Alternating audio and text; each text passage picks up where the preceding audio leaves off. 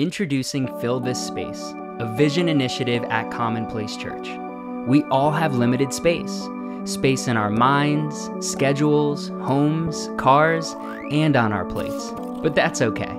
We believe that we can fill the spaces that God gives us for His glory and for the flourishing of our community.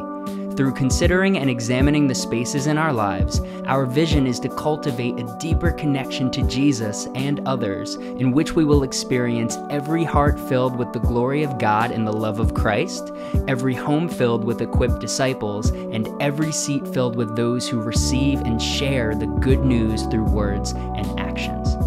Okay, so let's talk about cultivating these connections.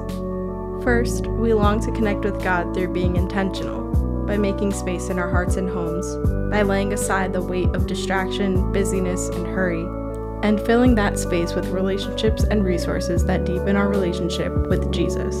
This can be through prayer or spiritual practices such as Bible reading, hospitality, and fasting, or through playlists of praise and worship, or even podcasts that strengthen our faith, and of course, through serving and blessing other people. This is the beauty of the church gathering each and every week to be filled and to fill one another.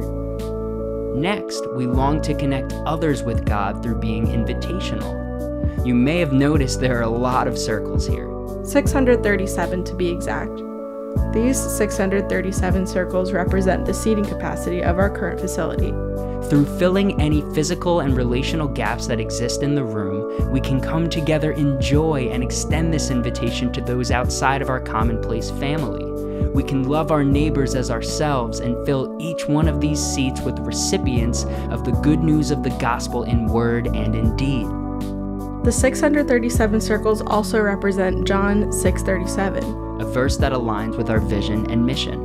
Our core mission is the same: to glorify God, equip disciples, and share the good news of Jesus.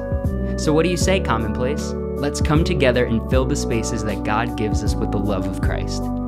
Check out our resources and learn more by visiting commonplacechurch.org slash 637.